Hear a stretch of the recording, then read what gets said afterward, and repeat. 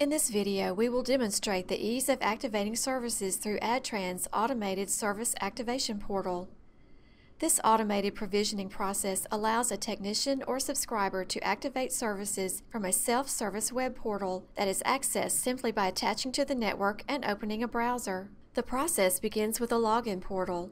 User privileges are associated with the login to limit access or direct users to the appropriate system resources. Once authenticated, the technician or subscriber is directed to the Subscriber Activation Portal that allows services to be selected and provisioned automatically by the network. The goal for this form is simplicity, prompting the user only for information required. Options associated with the service are only displayed if that particular service is selected.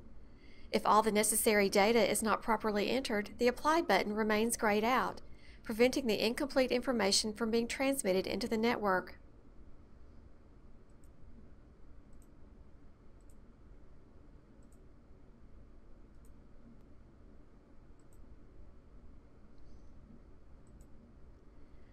The time for activation varies. The system automatically checks and upgrades firmware for the connected devices, requiring firmware transfer and unit reboot. Once the activation completes, the page will indicate that the devices were successfully provisioned for the services selected. Services can then be verified for customer acceptance. Progress of all the pending service activations can be viewed under the Automation Status tab.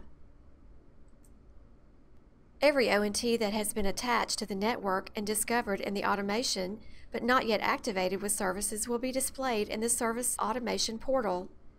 Notice the shelf slot PON, ONU ID, serial, and model number automatically displayed. Using a partial serial number, the technician can search for an ONT to determine the progress of an activation by mousing over the timestamp and clicking the icon. The Activation Progress Tracker provides detail on the progress of the activation as well as failure messages in case the activation should fail. This provides unprecedented visibility into the overall automated service activation process, describing the root cause of the failure for rapid trouble resolution. Instead of looking for a needle in the haystack, the system finds the needle for you.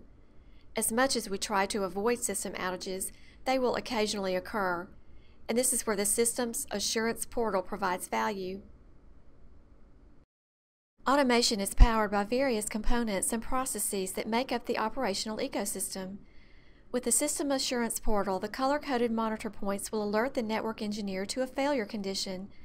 By selecting the icon, the failed process or component is easily identified so that the corrective action can begin immediately. In this example, all of the underlying processes supporting automation are running. If one process failed, then the icon would be red, and the fail process would indicate a down state. Our goal is for automation to provide a simplified and reliable service activation process that improves our customers' OPEX significantly. With the visibility that the service activation automation system provides, the root cause of an infrequent outage can be identified quickly to ensure rapid automation recovery.